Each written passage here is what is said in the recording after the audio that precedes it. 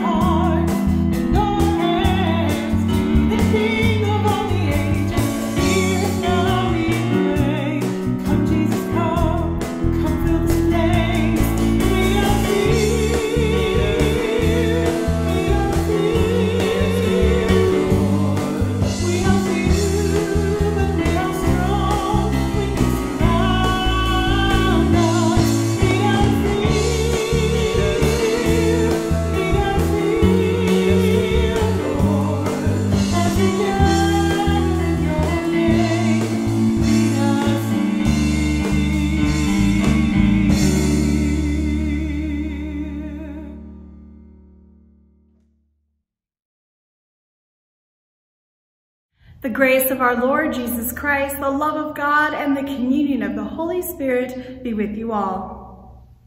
Let us pray. Almighty God, we thank you for planting in us the seed of your word. By your Holy Spirit, help us to receive it with joy, live according to it, and grow in faith, hope, and love. Through Jesus Christ, our Savior and Lord. Amen.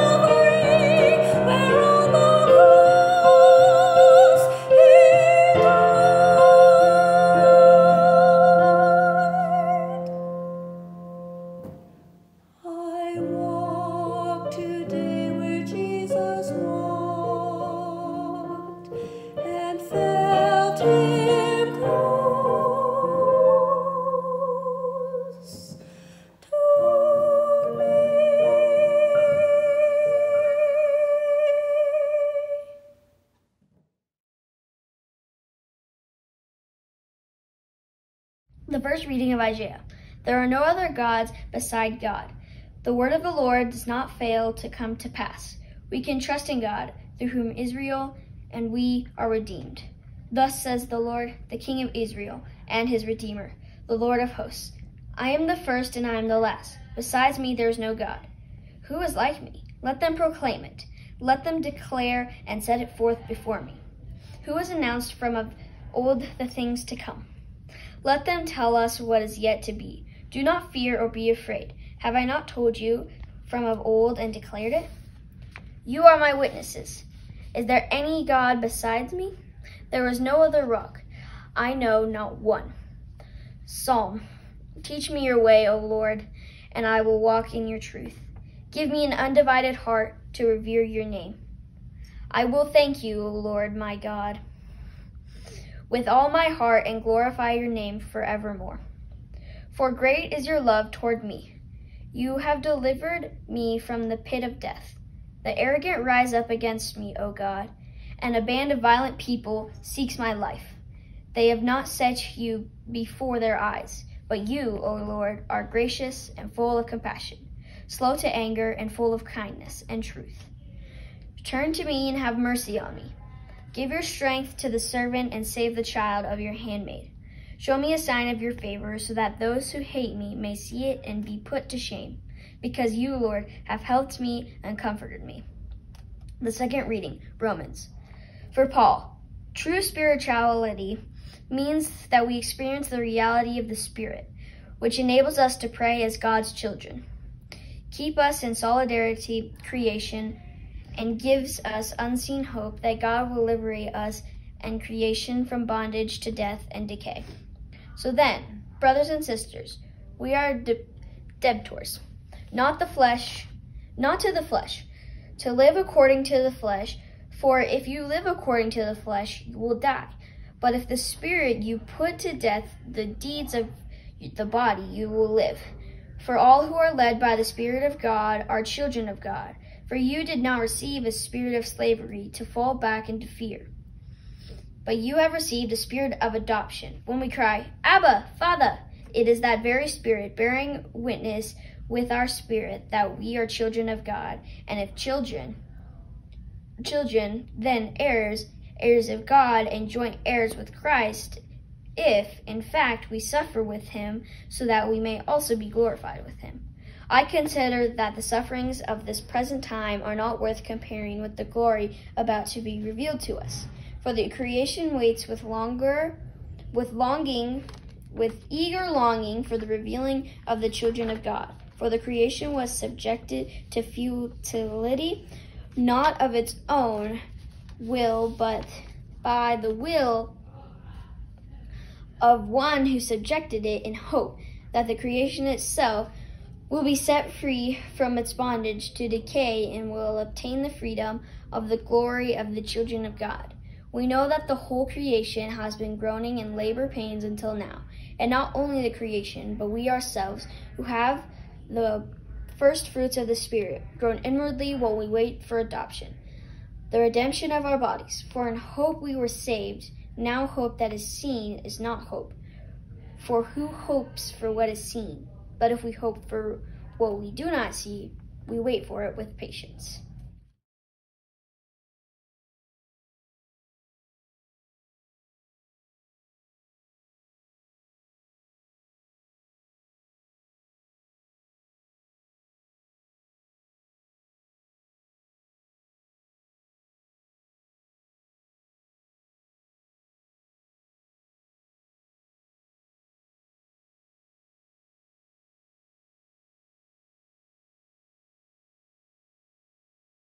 The Holy Gospel according to St. Matthew, 13th chapter. Glory to you, O Lord. Jesus put before the crowds another parable. The kingdom of heaven may be compared to someone who sowed good seeds in his field. But while everyone was asleep, an enemy came and sowed weeds among the wheat, and then went away. When, so when the plants came up and bore grain, then the weeds appeared as well. And the slaves of the householder came and said to him, Master, did you not grow good seeds in your field? Where then did these weeds come from? He answered, An enemy has done this. The slaves said to him, Then do you want us to go and gather them? But he replied, No, for in gathering the weeds, you would uproot the wheat along with them. Let both of them grow together until the harvest. And at harvest time, I will tell the reapers, collect the weeds first, bind them in bundles to be burned, but gather the wheat into my barn. Then he left the crowds and went into the house. And his disciples approached him, saying, Explain to us the parable of the wheat in the field. He answered, The one who sows the good seed is the Son of Man. The field is the world, and the good seed are the children of the kingdom. The weeds are the children of the evil one. And the enemy who sowed them is the devil. The harvest is the end of the age, and the reapers are angels. Just as the weeds are collected and burned up with fire, so it will be at the end of the age. The Son of Man will send his angels, and they will collect out of his kingdom all causes of sin and evildoers, and they will throw them into the furnace of fire where there will be weeping and gnashing of teeth. Then the righteous will shine like the sun in the kingdom of their Father. Let anyone with ears listen. The Gospel of the Lord. Praise to you, O Christ.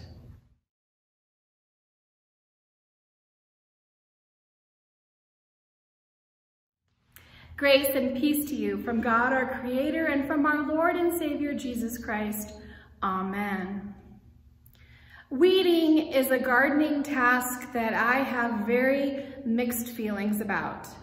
Usually, for me, weeding is not much fun. Usually, it's uncomfortable. There's bending or there's getting poked. If you don't time it right, it gets really hot to work out in the hot sun. Sometimes the weeds are stubborn and they don't want to come up easily. But sometimes, if you get the right setup and you're comfortable, there's actually a peacefulness to weeding. The kids for sure will leave you alone. And if you're upset with someone, pulling out a few weeds could be somewhat cathartic, am I right? And when you're done weeding, you can actually see that you've made a difference in your garden. In our parable for today, Jesus again uses the imagery of planting seeds in a field in order to illustrate what the kingdom of heaven is like. But this parable is a bit different than last week's. Last week, the sower scattered seed wherever and whether and whenever.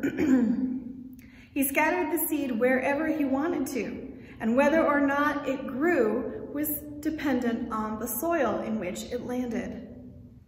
This week, the seed that gets planted is in a prepared field, very deliberately and very carefully, knowing that what comes up is going to provide the farmer with his livelihood for the year to come. But then, unbeknownst to him, an enemy comes along and plants weeds right in the middle of the good stuff. It's only when the crop begins to emerge that anyone realizes that weeds have been mixed in with the wheat. And as soon as they see it, they tell the master who determines that an enemy has done this. The workers or the household slaves are quick to want to solve the problem and they want to pull the weeds up right away and quickly. But the sower knows that if they do that, they will also pluck up too much of the wheat. They will have to wait until it's all done growing, and then during the harvest, they will separate the wheat from the weeds. Weeds are invasive. They come in different shapes, in different forms, but what I've noticed is that once they start growing, they can easily take over the entire field or yard. And they can be growing in all sorts of places where we don't want them to grow. The weeds that Jesus is talking about are the weeds that get planted in the good soil with the good seed. And as Jesus explains, putting the weeds there is the work of the devil. He spells out that the weeds are the sons of the devil. But maybe it's more helpful to think about the weeds being a product of the devil's work. Now, I know that we are mostly Lutherans and we don't really like to talk much about the devil and the presence of evil in the world. But friends, the things that the evil one can do to mess up in the world is very real. The amount of weeds that he can spread around is mind-boggling. And if we're really honest, sometimes the devil wants to spread the weeds in us. The devil's whole purpose is to keep us or draw us away from our relationship with God. Jesus closes the gap between our sinful nature and God's holiness when he took sin upon our himself and died on the cross so that we could have life. Now we are saved from the clutches of the devil. And really, we have no need to fear the power of evil. But that doesn't mean that the devil has learned his lesson to leave us alone. The devil continually wants to keep us away from God. So that's where the weeds come in. The weeds get planted in us. They show up in a whole variety of ways. Maybe they are the whispers of self-doubt and insecurities and fears. Maybe they are the drive that we have for power and wealth and things. Maybe they are the desire to have, um, to be right and first for everything. Maybe it's just our pride in not being able to show weakness or reliance upon others. Maybe it's stubbornness or intolerance of others and change. Or maybe it's the deep, dark pit of depression and despair. For some, the hold of addiction chokes out any sort of life that God would have for them. The weeds are invasive, And the evil one knows exactly which but buttons to push in each one of us to try to get us to not be growing as wheat, but instead to grow weeds and choke out the abundant life in Christ that God wants us to have. But sometimes the weeds don't stop with each of us individually. Sometimes they grow even further beyond ourselves as we take ourselves and our weeds and put them out into the world. We can take the weeds anywhere, and chances are we don't even know we are doing it. They can spread to our workplaces. They can spread within our families, our friends, and yes, even into a church. I was once part of a congregation that was very healthy and doing well, and they were growing and flourishing beyond what anyone had expected of them. And someone came in and started to pit the staff against one another and started to make promises that weren't his promises to make or to keep. He set up situations where conflict and attack kind of took over as he gave certain people more value than others. He forced quite a few people out, many left. And the church stopped growing and it stopped flourishing. And it very much seemed like this person really was an invasive weed in the field that had been planted with good soil and good seed.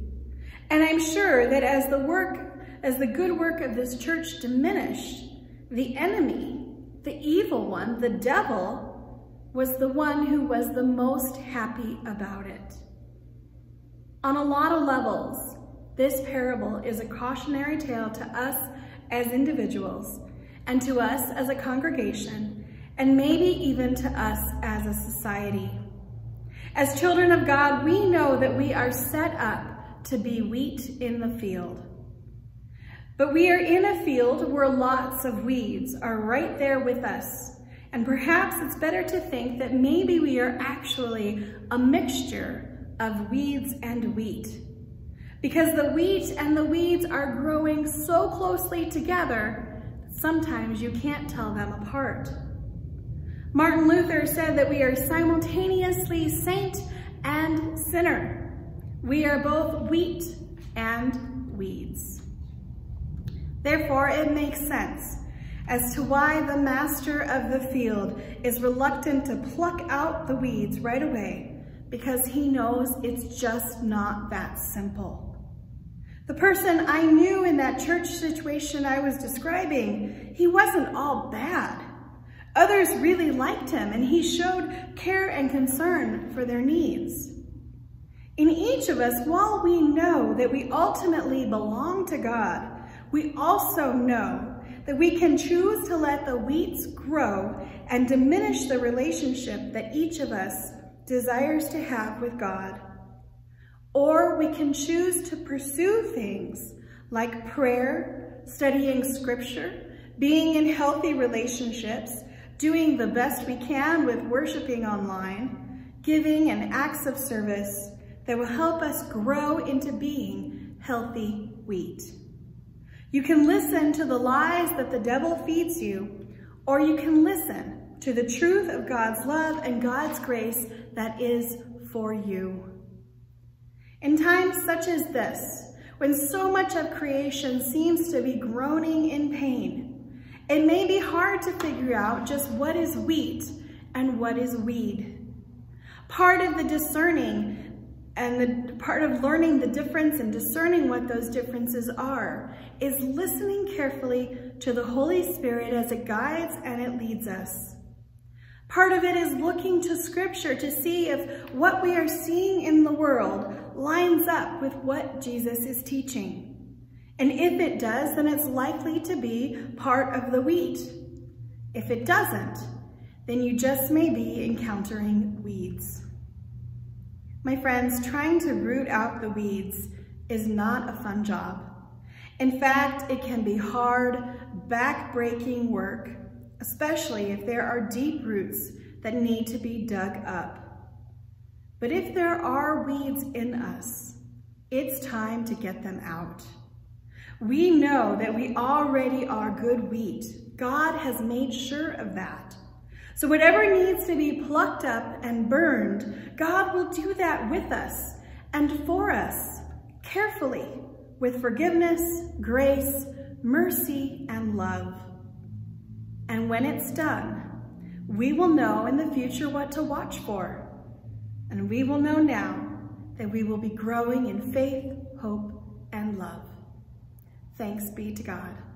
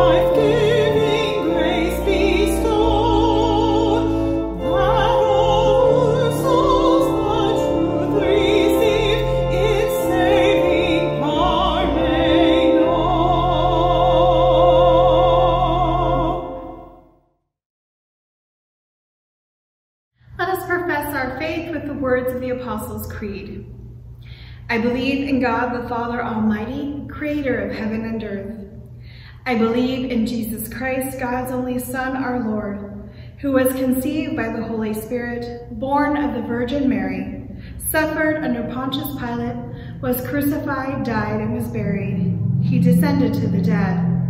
On the third day he rose again. He ascended into heaven. He is seated at the right hand of the Father, and he will come to judge the living and the dead. I believe in the Holy Spirit, the Holy Catholic Church, the communion of saints, the forgiveness of sins, the resurrection of the body, and the life everlasting. Amen. Confident of your care and helped by the Holy Spirit, we pray for the church, the world, and all who are in need.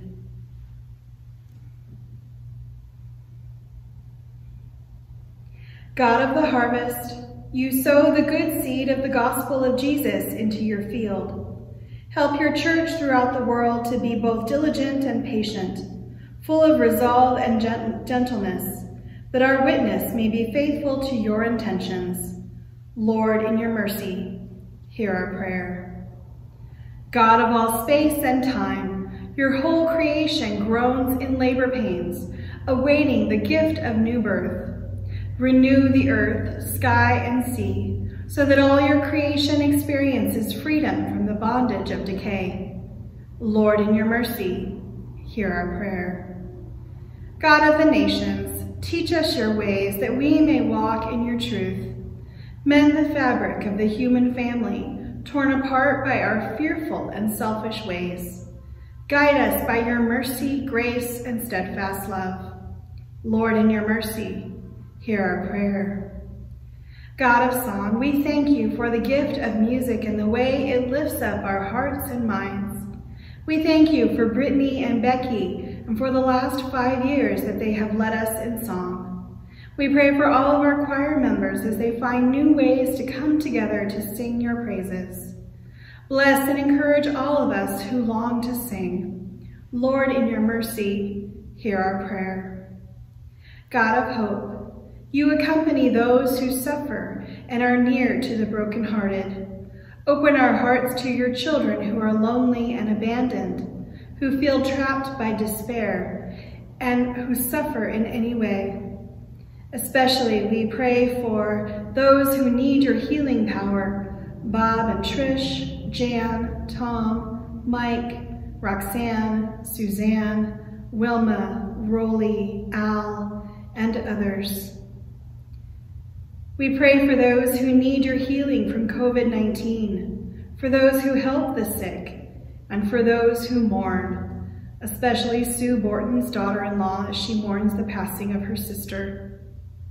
Bless and keep them in your care, and bring your healing and strength to us all. Lord, in your mercy, hear our prayer. God of life, those who have died in you shine like the sun in your endless kingdom. We remember with thanksgiving the saints of all times and places, and saints close to us. Gather, with, gather us with them on the day of salvation. Lord, in your mercy, hear our prayer. In the certain hope that nothing can separate us from your love, we offer these prayers to you through Jesus Christ our Lord. Amen. The peace of the Lord be with you always. Let us join together in praying as the Lord taught us. Our Father, who art in heaven, hallowed be thy name. Thy kingdom come, thy will be done, on earth as it is in heaven. Give us this day our daily bread, and forgive us our trespasses, as we forgive those who trespass against us.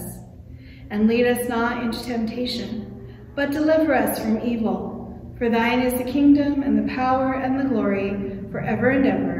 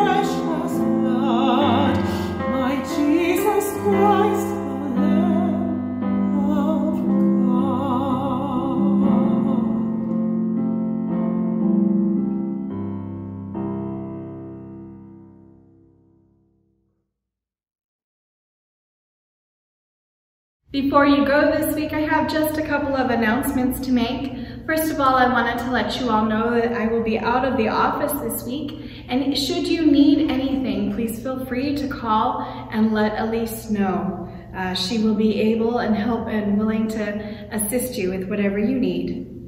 Also, next Sunday, our communion in the garden service will be a little bit different. We will not be having communion, but we will have some prayers and scripture. Uh, if you want to gather for prayer and meditation, you are welcome to do so. Uh, and that way you have an opportunity to fellowship with one another as well. Also, I just want to alert you that there is a Zoom uh, link in your bulletin for our hot topic conversation on July 30th. Um, that conversation will be talking about Bishop Eaton's sermon and other things from last month. So if you are interested, please plan to join us. As you go this week, may you know that neither death nor life, nor angels nor rulers, nor things present nor things to come, nor powers, nor height, nor depth, nor anything else in all creation will be able to separate us from the love of God in Christ Jesus. God, the Creator, Jesus, the Christ, and the Holy Spirit, the Comforter, bless you and keep you in eternal love. Amen.